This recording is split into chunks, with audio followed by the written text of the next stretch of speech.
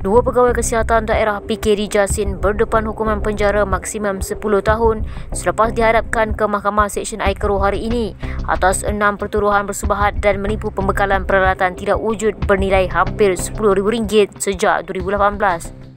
Tertuduh Muhammad Zamri Yazid 46 tahun dan Muhammad Nur Hafizi Samad 33 tahun yang dituduh secara berasingan bagaimanapun mengaku tidak bersalah dan minta dibicarakan sebaik pertuduhan dibacakan jurubahasa mahkamah di hadapan Hakim Elizabeth Payawan.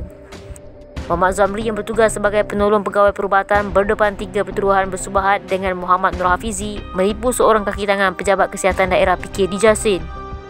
Ia bagi memperdaya mangsa untuk melakukan perakuan pembayaran kepada syarikat perniagaan Pela Maju Enterprise bagi pembekalan peralatan tidak wujud unit kawalan mutu air KMAM berjumlah RM9,536 pada 5 dan 9 November 2018. Didakwa melakukan kesalahan mengikut Seksyen 420 Kanun Kesesaan dibaca bersama Seksyen 109 Kanun Sama memperuntukkan hukuman penjara minimum setahun dan maksimum 10 tahun dan sebatan serta denda jika disabit kesalahan.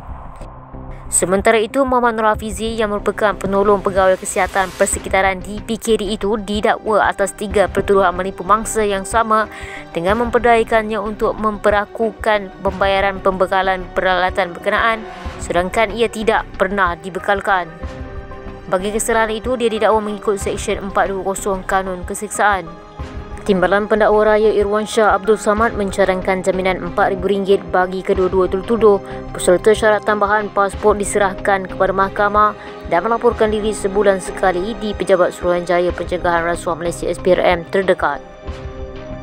Mahkamah membenarkan jaminan dan syarat tambahan di pohon pihak pendakwaan serta memerintahkan kedua-dua tertuduh masing-masing diwakili Peguam Azrul Zulkifli Stok dan Muhammad Zulfikri Zakaria supaya tidak mengganggu saksi sehingga kes selesai. Mahkamah menetapkan 7 September depan bagi sebutan semula kes.